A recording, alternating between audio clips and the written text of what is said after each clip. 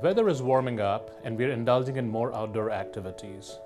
This puts us at high risk for heat-related illnesses.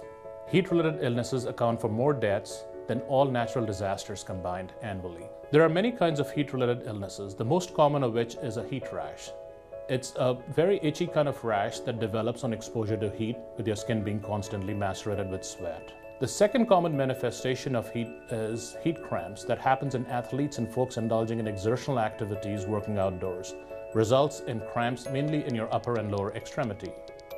A more serious kind of manifestation is heat exhaustion, which happens when you're exposed to high temperatures and your body is sweating profusely.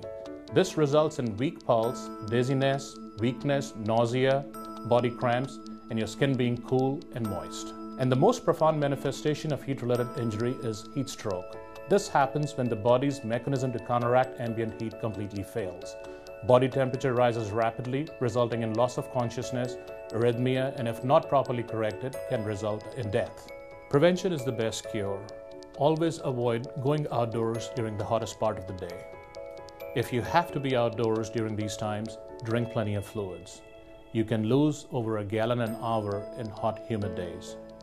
If you ever experience symptoms that are suggestive of heat exhaustion, stop what you're doing and come indoors. As always, use caution and whenever in doubt, seek help.